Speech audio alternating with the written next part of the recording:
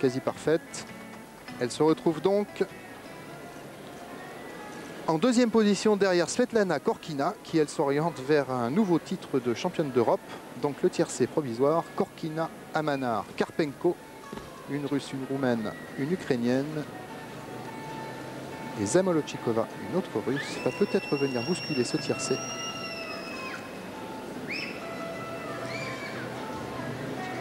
On a les moyens.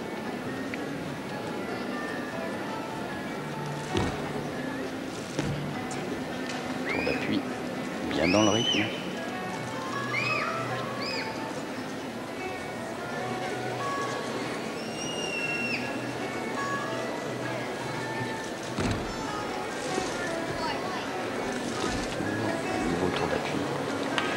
De toutes petites, infimes hésitations. Alors je ne sais pas si ça jouera pour la note finale.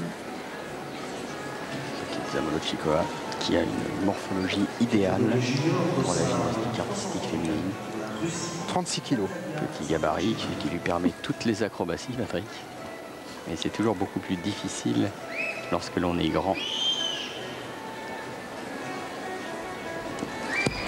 Ouais, ce qui lui permet par exemple de réaliser facilement cette vrille salto arrière corps groupé en sortie de titre. Et Léonide Arkaev satisfait de sa prestation. Il en a vu passer quelques-unes. hein, des Et oui. Ça doit Voilà, Zamolochikova, l'entraîneur le plus médaillé au monde. sans doute vice-championne d'Europe du concours général individuel hier. Et là, Alors le verdict du podium après la note de Zamolochikova. ça va être très très serré quand même.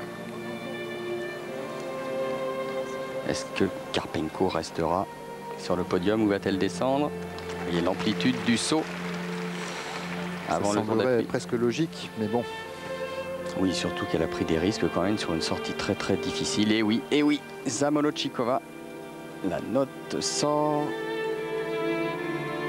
regardez, une vrille dans le premier tour. Et plus de difficultés Eh techniques oui, en plus fait. de hein. difficultés, Voilà. plus de stabilité. Zamolochikova qui prend la troisième place. Donc Svetlana Korkina, championne d'Europe à la poutre après le titre du général individuel devant la roumaine Simona Amanar. Ça va remonter le moral chez les Roumains. Et Zamolochikova, qui était vice-championne d'Europe hier au général individuel, se retrouve avec une médaille de bronze. Belle performance. 9 762